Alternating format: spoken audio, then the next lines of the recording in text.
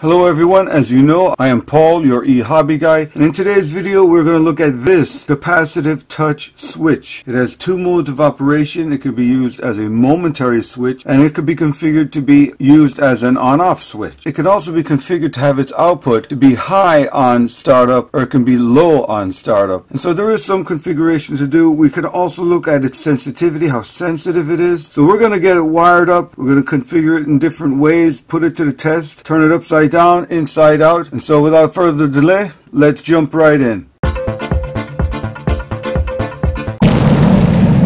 Okay, just looking at the back of it here, you can see that there is uh, nothing here except the word touch. It does look like sub to the uh, outer coating here that there is a big copper plate. And we'll see how that feeds through possibly to this side. That's just acting as a capacitive antenna, if you will. Looking over at this side, let me just pop up a full picture here you can see that we have three terminals here. We can get simple header pins. This is actually four, but I'll break one of these off and we'll get it on here.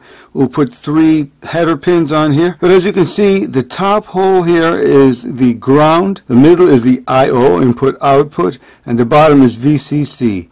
And so for the power for this, 5 volt, we're going to hook up ground as a negative and VCC as a positive. And then we'll look at the output on the middle pin to see what we're getting as we go through its different configurations. Now you can almost see that resistor value. What's written on it is 121, which is 1, 2, and 1, 0 after that 1, 2, 120. So that's a 120 ohm surface mount resistor. Over here we have a capacitor. We'll look at the value of that capacitor in a little bit. Now I just want to bring your attention here to the A and the B. These are the two option pads which give you the configurability of this capacitive touch switch. These are actually solder bridges. So if I bridge these two pads, let's say on A, we're going to be shorting these two out. This A pad sets the default output as being either high or low. The default out of the packet is momentary. When we get close to the touch pad, the output goes high, and when we move away, it goes low, and so that's momentary. If we bridge these two solder pads right here, it'll set the output type to being latched. So let's try that right now.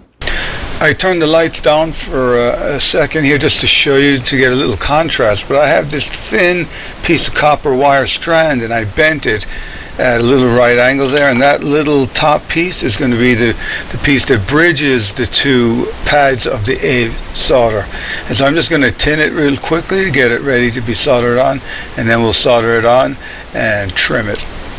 Here it is soldered on, still attached. Uh, I didn't really get a great zoom in on that. And so it's ready to be trimmed. So I have this copper wire bridging one A pad to the other A pad. There's a pair of pads for A, of course. Here I am doing the exact same thing to the B solder uh, pads. Uh, it's a different capacitive touch switch, so I do have many of them. I got a 10 pack of them. So I'm going to have two separate switches, one with the A pad shorted and another one with the B pad shorted. Just to get the ball rolling, we'll put uh, VCC on this. That can range from 2.5 volts all the way up to 5.5 and so logic level 3.3 is perfect for Arduinos or Raspberry Pis. And of course, our standard 5 volt logic voltage uh, is also usable here. So we'll give it 5 volts and we'll see what happens.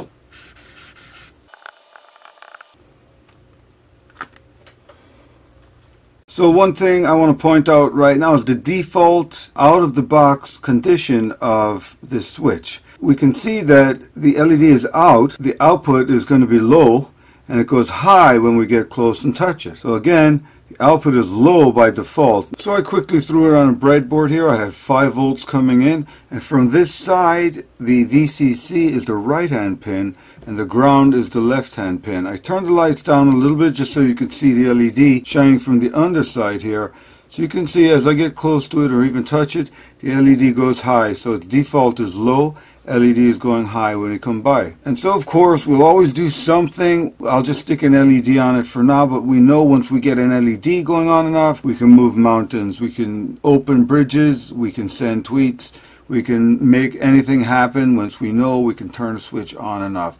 And so again, we'll just take a simple LED with the current limiting resistor. I'll get that, pop it on right here, and we'll move on from there. Here it is with an LED attached. The current limiting resistor is right in line with it here. We have the anode here and you can see as I get close it's turning the LED on and off on its own board but also this LED so the output is definitely activating in unison with the LED that's on board.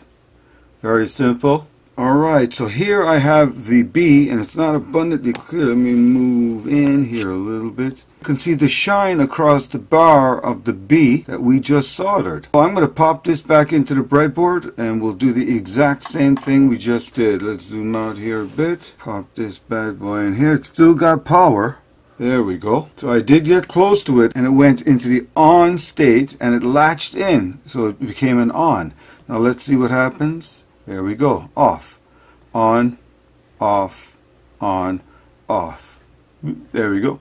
So you can see just by shorting across the two solder pads of the B configuration pad, it changes it from being a momentary switch to being an on-off switch. Very versatile. For less than 15 cents, uh, this is quite impressive. Now again, I'm going to kill the power here. We'll pull out the positive. So no power, nothing happens. When I give it power, the output is low.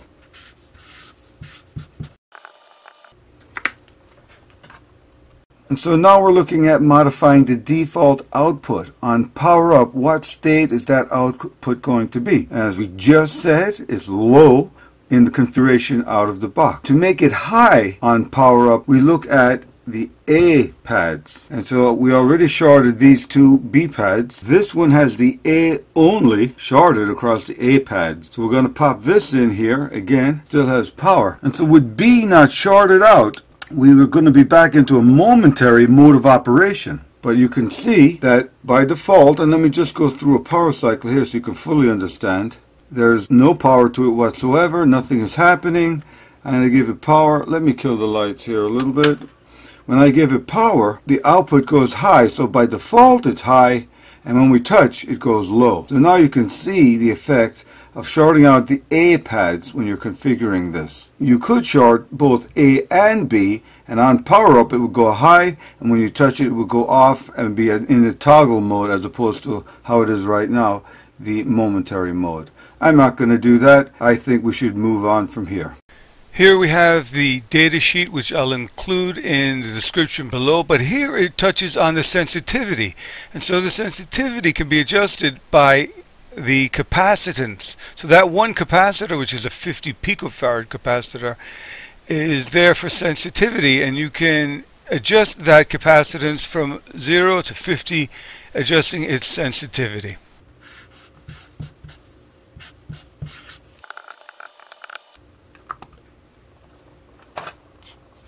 Okay, so here I have a pretty substantial fan uh, it's 120 volt. I think we'll try and control this big heavy fan. If I look quickly here, 1.9 amp, 3000 RPM, 115 volt. We'll try and control this fan with this little guy. But of course we can't uh, pass so much current with this. So we'll hook it up to a transistor and a relay and just get this starting and stopping. Hey, why not? See if we can get it done with this uh, capacitive touch switch. So let's get this hooked up.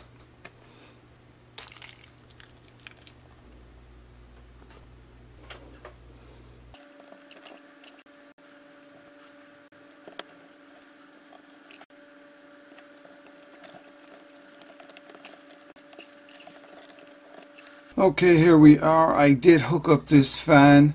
This is a 120 volt AC fan and it's dangerous. I just want to point that out. But I did want to make the point that with this 5 volt little control circuit and little capacitive touch switch, which is activating this NPN MOSFET, this MOSFET is triggering this relay. The relay contacts have a rating that's great enough to handle the current required for this fan. And so right now I do have a live 120 on this black and yellow wire here. There's no ground, I'm just doing this for demonstration. This is in the on-off configuration. This is a pretty powerful fan, so it might get loud. I won't leave it on for very long.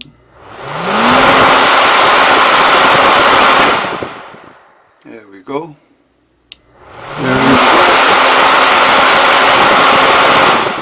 So you can see that this high current fan can be controlled by just this tiny, tiny little capacitive touch switch by uh, switching up through these components here, this NPN MOSFET and this relay. That's really it. I just wanted to show that we can control anything and not just an LED. And so at this point, I really do appreciate you taking the time to watch this. I hope that you had fun. Uh, take the time right now to click that subscribe button if you learned anything at all. I really do appreciate your support. Check in with my channel once in a while. If you didn't subscribe, see more videos, follow me on social media. Thank you again for watching, and I'll see you next time.